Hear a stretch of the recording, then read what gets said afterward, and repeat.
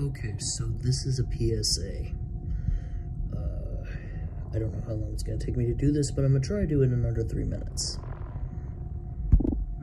As everyone probably knows, we're struggling financially at the moment, um, as I'm trying to get on disability and just generally surviving is incredibly expensive.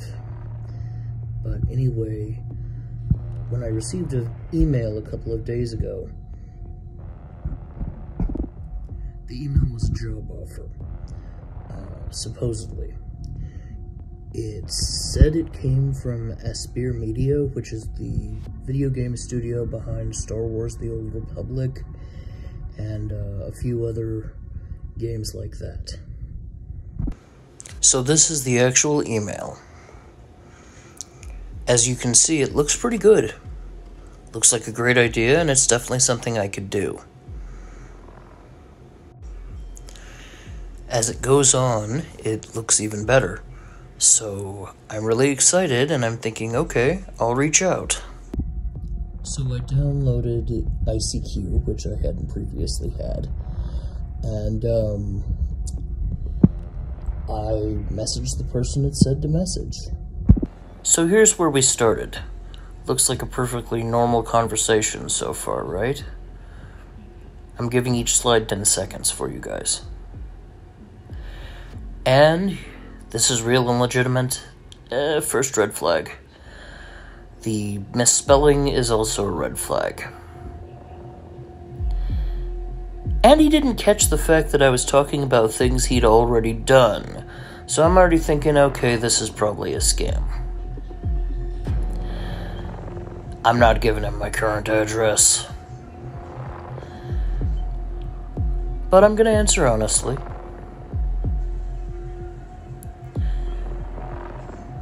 Now it's starting to sound a little bit more like an actual interview, so I'm thinking maybe my first impression was wrong. I'm verbose.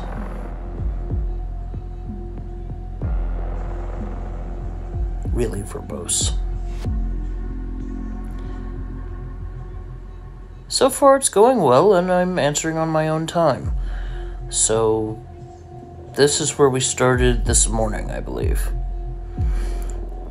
I started to think maybe he was an English as a second language speaker and not actually a scammer because of these types of triggers.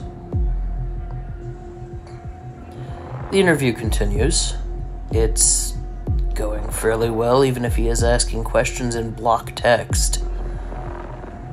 So, of course, I answer in kind because, as I may have mentioned before, well, I know I did, I'm verbose.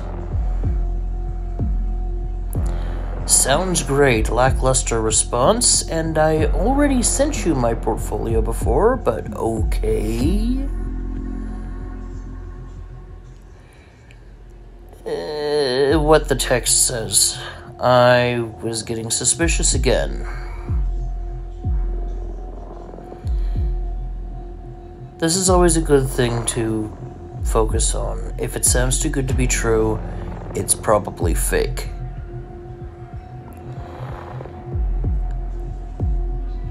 Yeah.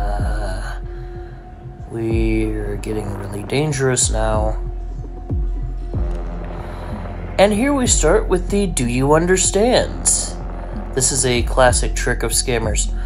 Uh, count them with me. One. This entire paragraph is a hell of a red flag. I'll explain why at the end.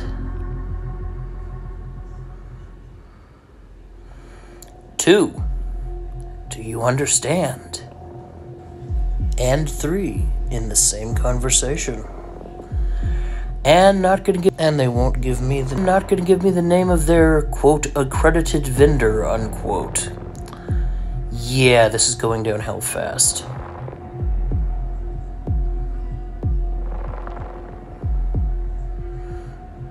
This is just me asking if they were depositing it in my bank, what does it matter which bank I use?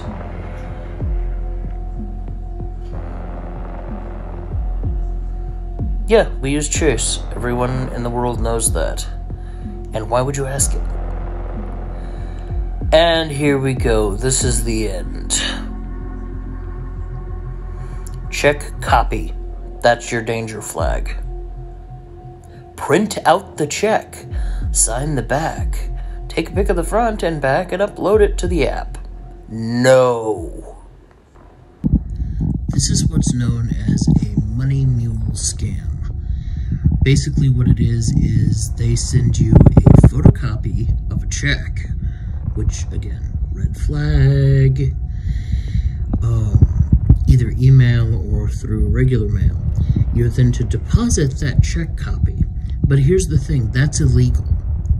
It's illegal because they just digitally change the name that the check is made out to on their end and send it to multiple people the banks catch on to this, but by then, you've purchased from their accredited vendor the um, supplies they want you to have, right? Except that those supplies will never come, and that money just went right back to them. When the banks catch on, you're the one who ends up overdrawn.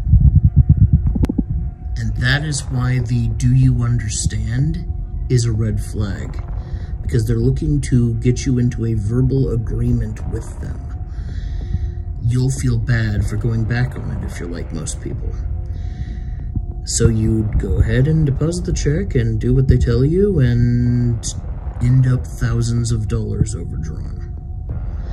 So that's a warning. If you get any emails like this for jobs like this, yeah, definitely try in good faith, but be aware of the signs and stay safe out there.